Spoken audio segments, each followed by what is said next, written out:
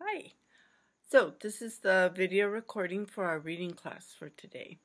And what we'd like to do is swing back around to some things we talked about earlier in the semester, since we have um, students in class who weren't here at the beginning of the, the semester. Um, the thing I want to talk about today is reading level. What do we mean by reading level? So you know, a lot of times when we talk about reading level, we talk about grade level, like the third grade level. This person reads at the fourth grade level. This person reads at the ninth grade level.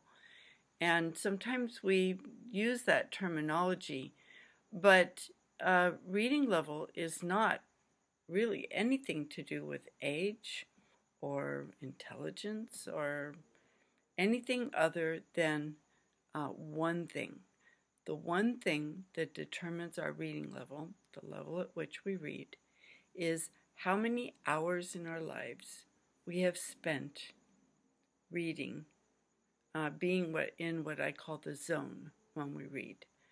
Um, what I mean by the zone is is this. You know, when we're doing anything that we are engaged in, that we're interested in, that we're really involved in, we kind of disappear into that thing. We kind of sink into it, and we're not so aware of the immediate reality around us. We're kind of somewhere else. Think about when we watch a movie um, that we like. At the beginning of the movie, we're sitting there on the couch or in the movie theater, and we're there in the seat. We're there in that room or in that theater. And then, as the movie begins to um, go on, we get pulled into the story of the movie. We get sort of involved in that other world. And we're not as aware of this couch that we're on or this seat that we're sitting in in the movie theater. We're there in that other world. And the thinking that we do and the things, the reactions that our brain makes are different than when we're sitting here in on this seat or in this world. We're in somewhere else. We're, we've disappeared into the story. This doesn't just happen when we're watching a movie. It happens when we do anything that we're really engaged in, that we're really involved in. If we're playing basketball, for example, and we're really involved, really engaged in that game, we're not really aware of what's going on around us off the court. We're really sunk into that game and that's the reality that we're in. If we're very involved in a conversation that we're having with somebody, we are very intently engaged in the conversation, focusing on it, not really aware of what's going on around us so much, but really engaged in the world of that conversation. Uh, this happens when we read too. But because there are so many things for us to do with our time, in the modern world, unlike a couple hundred years ago, uh, before we had television and radio and um, recorded music and uh, video games and computers. Um, there are so many choices that we have today in how to spend our time that for many, many people, we don't spend as many hours of our lives in that zone with a book, in a book, right? But that's what determines our reading level the number of hours that we have spent in our lives in the zone, in that zone, with a book. If we've spent many hours in our lives in the zone with a book, our reading level is high. If we have not spent many, many hours in our lives in that zone in a book, our reading level is lower. Uh, if our reading level is lower, there's a very simple solution.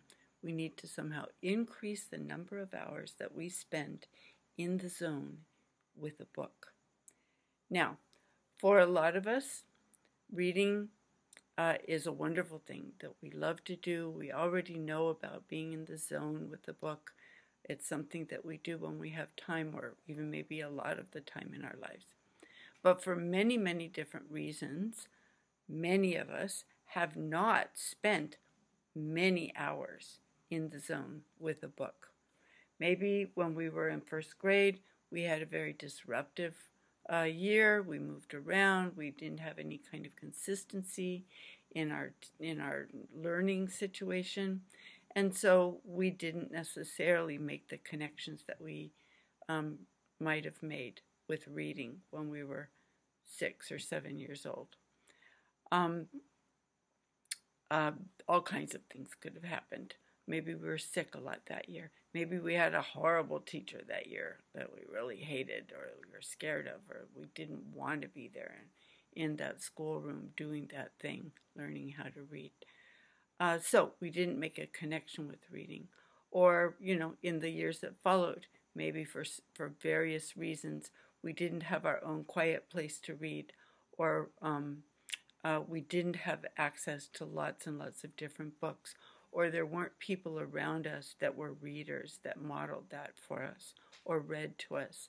Uh, because, you know, maybe our parents were very, very busy doing other things, keeping a roof over our head and making sure we were fed, right? So, um, for lots of reasons, we might not have spent many, many hours in our lives in that zone.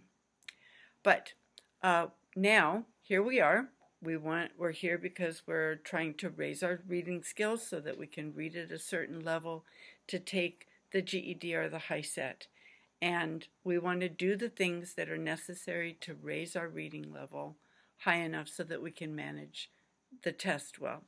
Now, the passages on the GED or the HiSET are written, and the questions are written at level 9 or 10 or sometimes even 11 but right now, most of us, according to our diagnostic test that we took when we first enrolled in the program here, um, are we're reading at level four or five or six or seven. So we want to do the things that we need to to raise our reading level up to the level of the test. Now, most reading that we do as adults for pleasure or for fun is not written at level 9 or 10 or 11. What's written at those levels are college textbooks or professional papers of some kind or maybe legal documents or contracts are written at level 10, 11, 12. Most of the things that are written for um, adults who are readers to read for entertainment or for pleasure are written at level 5 or 6 or 7. That's just the way it is. And we don't have to read things at level 9 or 10 or 11 to raise our reading level up that high. In fact, that's not the way to raise our reading level. The way to raise our reading level is to find books that we really in what that we will really enjoy that are at a level that is comfortable for us to read so that we can spend as many hours as possible in that zone. So the trick is to find books that are at the right level, that are books that we like, and then try to spend our time reading more and more and more. Um, now, one of the things that I want to show you about reading level is how reading level is determined. Because remember, it's not about how old we are, it's not about how smart we are. It's simply about the number of hours that we've spent reading. But what is it that we mean by reading level? Okay, so that's what we're going to talk about. I'm going to end this part of the video. I'm going to start another one in a minute. All right, thanks.